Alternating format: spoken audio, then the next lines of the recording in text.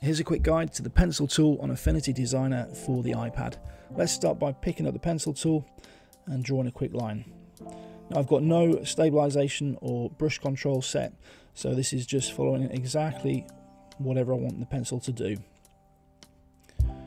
And once you've finished and you lift off your uh, line, you can see all these nodes and points where the curves change direction appear. So we just go to the node tool uh, and you can just tap on one of these and you'll get the handles appear like you do with the pen tool and you can manipulate those exactly the same as you can with the pen tool.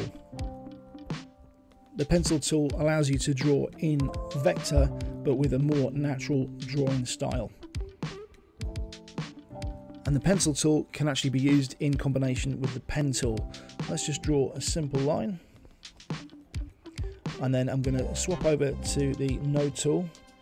I'm just going to tap on the end node pick up the pen tool tap anywhere on the screen and now you can carry on with the pen tool which is super useful for all sorts of things.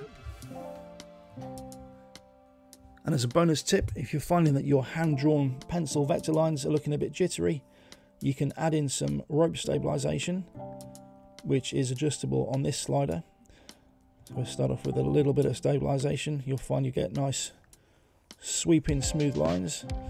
If you put in a lot of stabilization, it allows you to increase the length of the rope so you can make a nice sweep and then without committing to the line you can change directions and put a right angle in